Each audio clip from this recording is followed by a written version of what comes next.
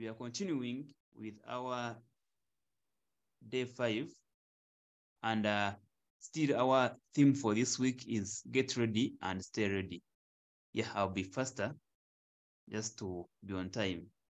Okay, key thought for this week is uh, from First Thessalonians 4 16 and 17.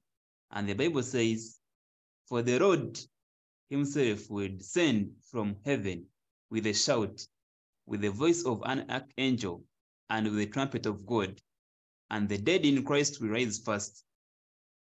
Then we who are alive and remain shall be caught together with the with the with them in the clouds to meet the Lord in air, and thus we shall always be with the Lord. Okay. Uh, yesterday we looked at uh, William Miller uh, in our first day on how on how uh, our last day when uh, people are not ready. We see when in 1844, October 22nd, had predicted that Christ would come. And uh, we found out that the dates were right, but the event was wrong. Instead, Christ was moving from the, the, holy to the most holy place in the heavenly sanctuary to atone for our sins. And we see that the mistake that people did, they had closed their shops, they had sold their property, they are really ready for the coming of Christ. But at the end of the day, Christ didn't come and turned out to be a great disappointment. And most of the followers of William Miller, they left him. So, so those they, they couldn't even want to hear again the man Jesus is coming back because they're already disappointed. So we have people even today who are really disappointed. Even uh, as I told you before, I think I was in primary when I also had Christ was coming back and need to come back. So people right now they think there's no Christ. We just live life like that. But we see that William Miller, the good thing is, and his little followers, they didn't give up. They went back to scriptures and see what really went wrong. And it's where we see the Seventh-day Adventist Church coming from. Okay, yesterday we as well looked at this scripture in Matthew 24, 36, 39 that says, But of the day and hour no one knows, not even the angels of heaven, but my Father only. So, meaning even the Son doesn't know. 37. But as the days of Noah were, so also will be coming of the Son of Man be. For as in the days before the flood, they, they were eating and drinking, marrying and giving in marriage until the day Noah entered the ark and did not know the flood came and took them all away. So also will be the will be the coming of man. We saw this yesterday that it's like today people are marrying every week in and out. People are eating, people are going to their jobs. Hmm? Life is normal. Hmm? Even though people are dying, but that has been normal life. So that's how Christ will come. Hmm? because we are, we are not sure. The Bible says there won't be any sign that shows that Christ is coming back next week such that we can all repent. But we'll be there, probation will end, and Christ will come. And once you'll be found and, and, and like you'll be caught like a thief without oil, you've, you have not repented, your life will have gone and you'll be no more. Okay. Uh, how do we prepare for the end? Part one. Tomorrow it will be the end. It we shall be seeing part two, which is the last day, the on Sabbath. But today, as we prepare for the Sabbath, let us see how to prepare for the end. Part one. Okay. Matthew 24, 14. The Bible says, and this gospel of the kingdom will be preached in all the world as a witness to all nations, and then the end will come. You see, this is happening now already. Hmm? And we were told in the Bible that society will become like Sodom and Gomorrah just before Jesus' is return. And this is happening. We've seen homosexuals here on. Eh? People coming out that me, I was born a man, but I feel I'm a woman. I was both a woman, but I feel I am a man. Some have even gone up to go on surgeries that they want to be made female, but when they are male, they want to be made, made male, but when they are female originally. Hmm? So meaning you can be born a boy, but later choose to be a lady, choose to be a woman. So that is an abomination to God. Hmm? Because there are two things that Satan has really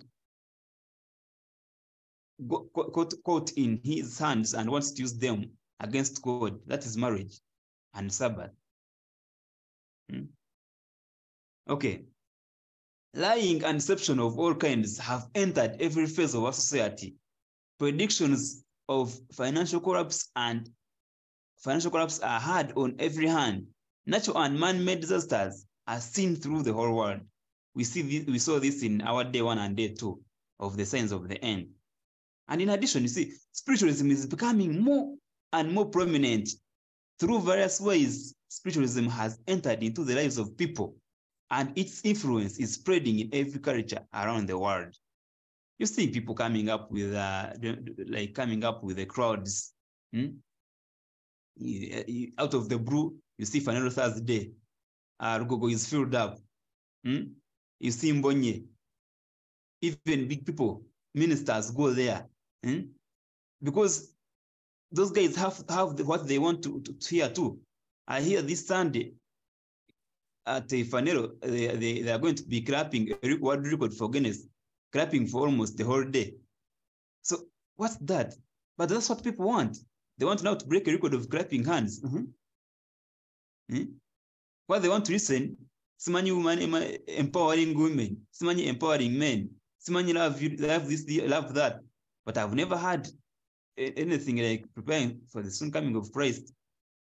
That's what people want to listen to. And the youths are there because they target the because that's the audience, that's the energy. Hmm? So, people, brethren, if you are not serious, we shall be taken away. And these are our friends that we are studying with students at campus, and our friends, the influencers. Also, some of us go there. But let's be watch. Keep, let, let's be watchmen. Let's do what the waiters do. But you've been warned here, the things are going to come up and they're already up here. So get ready and stay ready. Uh-huh. So we are going to see, as the Seventh Adventists, what are we meant to do as we prepare for the end? Hmm? How shall we get ready and stay ready? Hmm? We see that we are, we are act in a Christ-like manner, speak with great respect and love as we share his love and truth. And it is essential that we maintain our hold on Christ and his word. Only his word will give us strength only by relying completely on Jesus and the power of the Holy Spirit will be able accomplish anything. In whatever you do, let Christ be on your front side. Let him lead you. Let him be your example. Hmm? Don't be influenced by the mockers and, and snuffers of this world. But let the Bible inspire you. Wake up in the day, read your Bible. Hmm?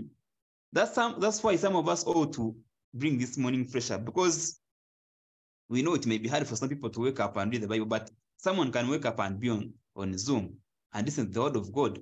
Maybe we pray together, go to work. Sometimes we have evening studies. Hmm?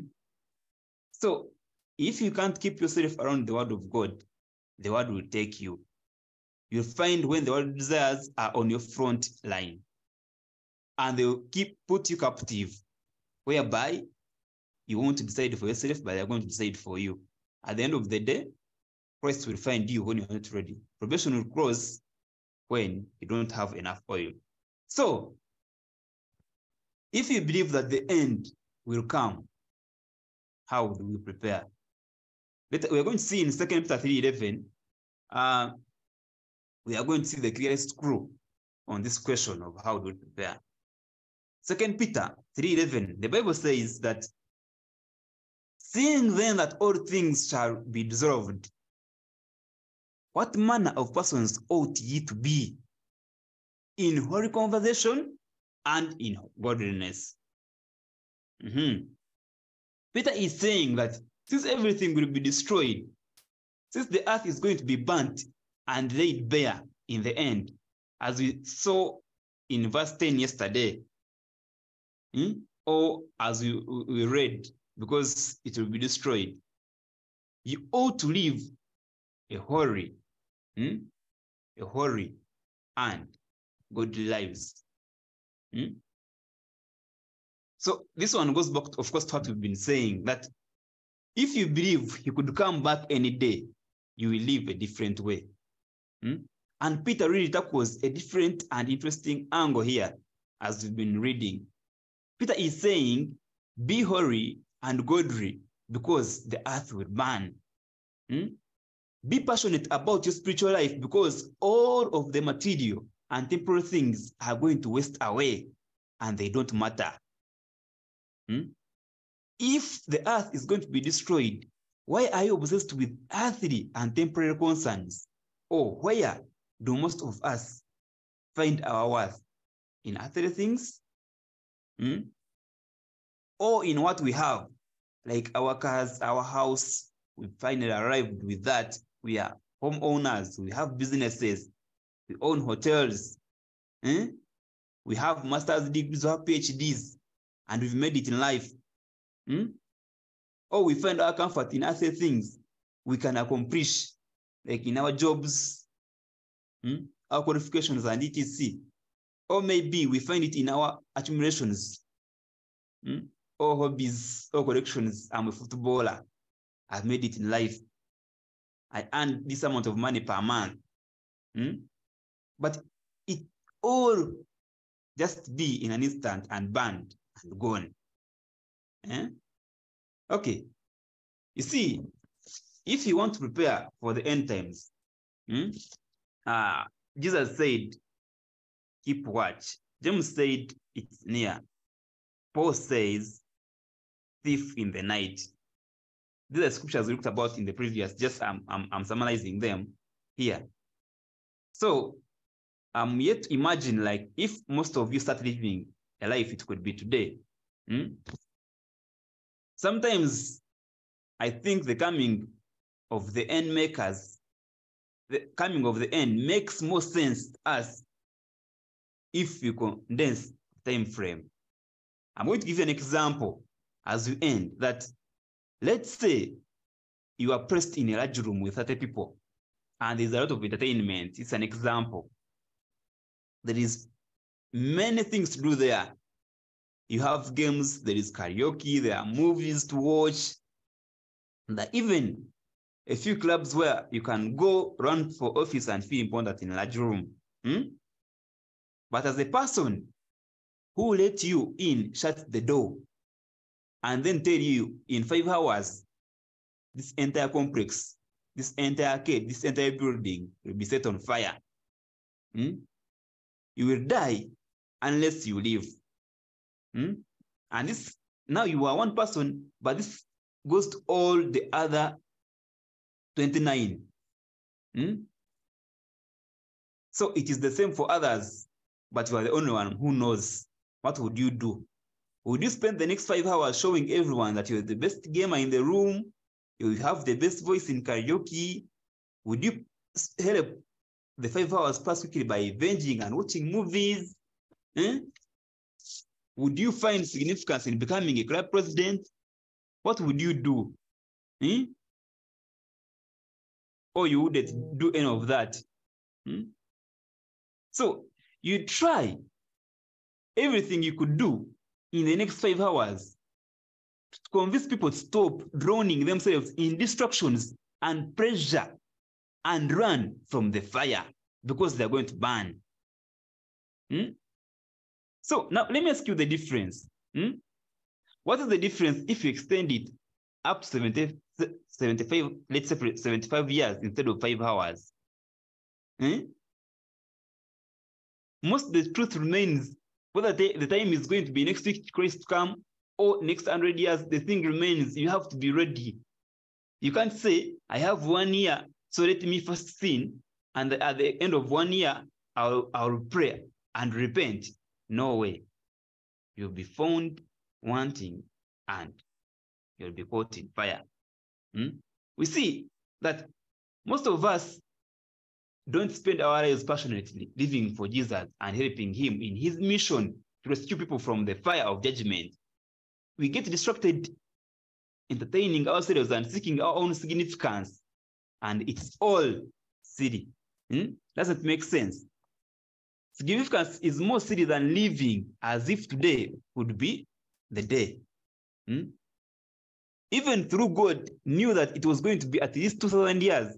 And I think the Bible is serious and about the imminence, imminence or the soon coming of Christ. Hmm?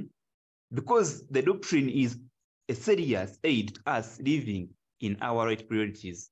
You see here, Peter is not discussing the end time so that his readers can exercise the draw charts about how the end will come. He's not saying we should get ready, so let's draw the dates and know Christ is coming next week because the Bible is saying no one knows the day, even the hour.